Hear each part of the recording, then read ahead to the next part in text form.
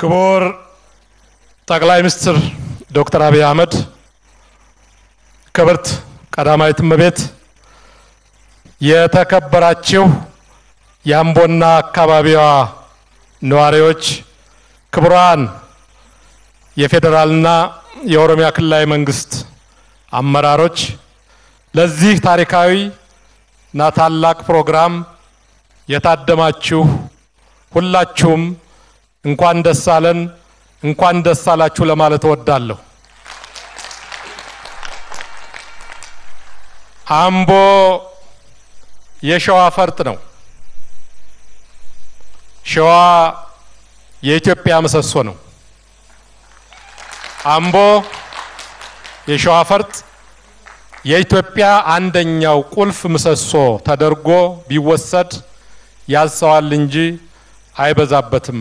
በተግባር በጀግንነት ሆኖ በመገኘት የሚታወቅ ነውና።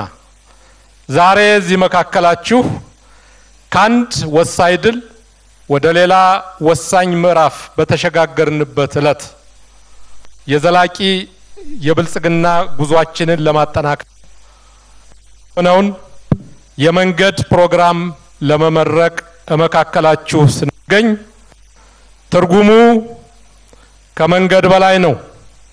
ትርጉሙ ኢትዮጵያን የማዘመን የመገንባት የማትደፈር የምንኮራባት ሀገር ግንባታችን ገና ቀጣይ ስለሆነ ይሄ የሸዋ ፈርጥ ይሄ በታሪክ በተግባር የኢትዮጵያ ምሰሶ የሆነው ሕዝብ ከዚህ አኳያ እጅግ በጣም ትልቅ እድልና ትልቅ አጋጣሚ ነው። ስለ አምቦና አካባቢው ስለ አጠቃላይ ሸዋና የኢትዮጵያ የሀገር ግንባታ ጉዳያችን ስናወሳ የኛ ቋንቋን አሟልቼ ማዳመጥ ባልችልም በመደጋገም ጠቅላይ ሚኒስትራችን ያሉትን ወሰድ ወሰድ አድርጌ እኔ በሚመስለኝ ደግሞ አጠናክረዋለሁ። ከአምቦ ጋር አዛምጄ የሸዋ ፈርጥ የኢትዮጵያ መሰረት የነገ የብልጽግና የጀርባ አጥንታችን የሆንከው አምቦ ብልህን ብልህነትን እና ታላቅነትን ከአባታችን ከሀብተ ጊዮርጊስ ዲነግዴ ይማሯል። ብልህነት ከሀብተ ጊዮርጊስ ይቀዳል። ጥበብ ከአምቦ ብርቅዬ ልጅ ከሎሬት ጸጋዬ ገብረ መድኅን ይቀዳል።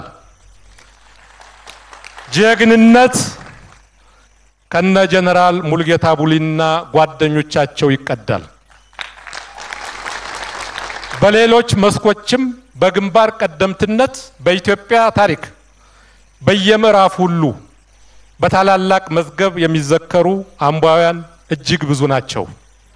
ወጣቶች፣ አባቶች፣ ወንድሞች በዚህ ታሪካዊ አጋጣሚና በዚህ ዘመን የአባቶቻችንን የነ ሀብተ ጊዮርጊስን ብልህነት ይዞ አገርን መገንባት በትልቁ ማሰብ የአባታችንን የታላቁን የጥበብ ሰው የአርት ሰው የሎሬት ጸጋዬ ገብረ መድኅንን ጥበብ ይዞ የኢትዮጵያን ታላቅነት ማስተማር፣ በተግባር መተርጎም፣ ጀግንነትን ይዞ የማይናወጥ አቋማችሁን ይዞ ወደፊት መራመድ ይጠይቃል። አለመታደል ሆኖ በያዝነው ዘመን ኢትዮጵያን የሚጎዱ ኢትዮጵያን የሚያሳንሱ ኢትዮጵያን የሚያቆስሉ ታሪኳን የሚያገድፉ ብዙ ሰልፎች ገጥመውናል። ከህዝባችን ጋር ከኦሮሞ ህዝብ ጋር ከኢትዮጵያ ህዝብ ጋር በመሆን በብልህነትና በወሳኝነት እነዚህን እንቅፋቶች እየተሻገርን ወሳኝ ምዕራፍ ላይ እንገኛለን። የበለጸገች አምቦ ማለት የበለጸገች ኢትዮጵያ ማለት ነው። በተግባርና በታሪክ የሚታወቀውን አምቦን ማዳመጥ፣ ማክበር፣ ችግሮቹን መንግስታት አጋርነቱን የበለጠ እንዲገልጽ ምቹ ሁኔታዎቹን መፍጠር ይጠይቃል። ከዚህ አኳያ የአምቦ አካባቢ ህዝብ በታሪክ የወረሰውን legacy ይዞ ለመጪው ዘመን ጠንካራ ክንድና አጋር ሆኖ አብረን ወደፊት የምንራመድበት የምንኮራበት የምንኮራባት ጥጋችን አገራችንን የምንገነባበት ዘመን ይሆናል። እኛ ፊታችን ቆመን ፊታችሁ ቆመን ቃል ስንገባ መንገድ ስንመርቅ በዚህ ሳንረካ ለበለጠ ኃላፊነትና ለበለጠ ተጠያቂነት ነው። በፊታችሁ ቆመን መልእክት ስናስተላልፍ በተግባር ማድረግ የቻልነውን የበለጠ ለማስፋትና ውጤታማ ስራ ለመስራት ነው። የነዚህ ሁሉ ምንጩ ብልህነት ነው። የነዚህ ሁሉ ምንጩ ታላቅነት ነው። የነዚህ ሁሉ ምንጩ ጥበብና wisdom ነው። ይሄ የሚቀዳው ደግሞ ካምቦ ነው።